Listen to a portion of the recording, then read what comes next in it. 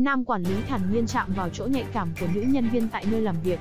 Bị nam đồng nghiệp có những hành động nhạy cảm, nhưng nữ nhân viên trong đoạn clip vẫn thản nhiên và không hề phản ứng gì.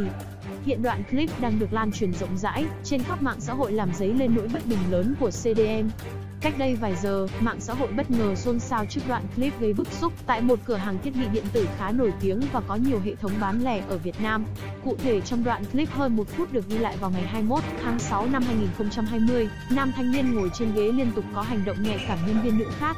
Điều đáng nói mặc cho xung quanh có rất nhiều người và camera quan ép, nhưng cô gái vẫn thản nhiên để đồng nghiệp tự do khám phá mà không hề phản ứng. Ngược lại nhân viên nữ này vẫn tỏ ra bình thường và nói chuyện với nhiều người khác. Chỉ đến khi bị phát giác, chàng trai này mới vội rút tay và tỏ ra như không có chuyện gì.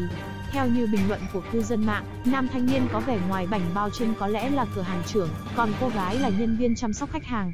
Tưởng chừng góc khuất của bàn làm việc đã che hết, nhưng cặp đôi không ngờ hành vi của mình đã bị camera quay lại toàn bộ. Sau khi đoạn video được công khai lên các diễn đàn xã hội, nhiều người đã bày tỏ sự ngáo ngán với hành động vô ý thức của đôi nam nữ trên. Ở cương vị một nhân viên chăm sóc là bộ mặt nhận dạng của thương hiệu, không ít ý kiến cho rằng việc làm này đã vi phạm nghiêm trọng đến hợp đồng lao động, để lại ấn tượng sới trong mắt dư luận và khách hàng. Ở phương diện cá nhân, việc làm trái thuần phong mỹ tục này cũng bị đa giá là khá phản cảm, nhất là đối với cô gái trong sự việc. Đặt giả thuyết cặp đôi có quy hệ tình cảm thì có thể hẹn nhau sau giờ làm, hoặc đến một nơi khác kín đáo hơn để tránh làm ảnh hưởng đến môi trường làm việc và những người xung quanh.